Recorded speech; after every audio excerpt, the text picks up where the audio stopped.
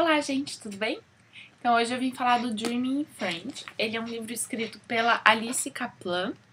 Ela é uma pesquisadora de cultura francesa. E esse livro aqui ela fez falando sobre a Jacqueline Beauvoir Kennedy, a Susan Sontag e a, Angela Davis. É, essas três mulheres são três mulheres bastante influentes na cultura americana e curiosamente as três passaram um período da sua juventude na França, em Paris mais especificamente. Então aqui no livro ela fala sobre esses períodos. Elas não foram ao mesmo tempo, né? Elas não elas nasceram em anos diferentes, eram assim de gerações até um pouco diferentes, mas daí nesse livro ela comenta um pouco sobre esse período em Paris dessas três mulheres. Então, a Jack Beauvoir Kennedy, ela é de 1929, foi primeira-dama entre 61 e 63 e depois ela trabalhou no mercado editorial. A Susan Sontag é uma das minhas escritoras favoritas, ela é de 33 e ela, além de escritora, foi crítica de arte e ativista. A Angela Davis é de 1944, ela foi presa por ter se afirmado comunista e ela é ativista, escritora e acadêmica. Eu gostei muito do livro, então é, é uma espécie de biografia, mas é uma biografia desse trechinho específico que mostra como a experiência delas nessa outra cidade foi importante para desenvolver quem elas se tornaram, como foi importante para um crescimento de intelecto da parte delas, até de tornar o mundo assim um pouquinho maior, né?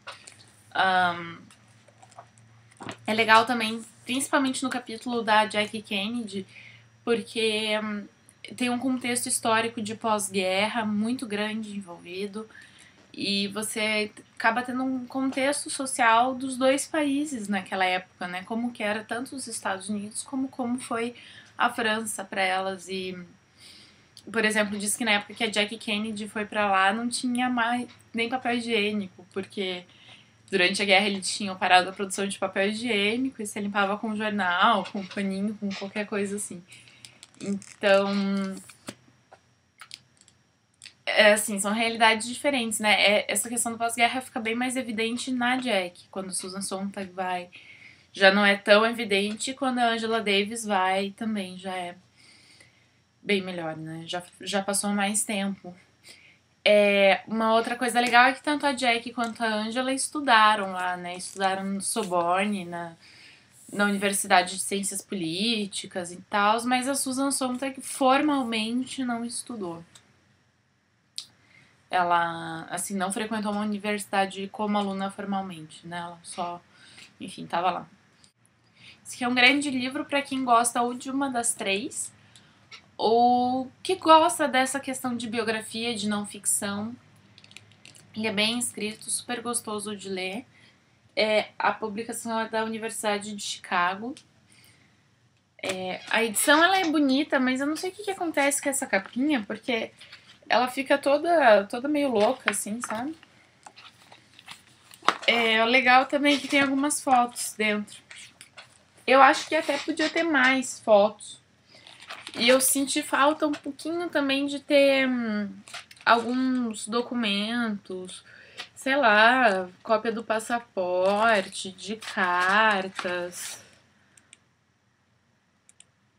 Mas a, a autora teve acesso a, a algumas coisas que alguma das três escreveram. Então tem, por exemplo, um poeminha que a Kennedy escreveu.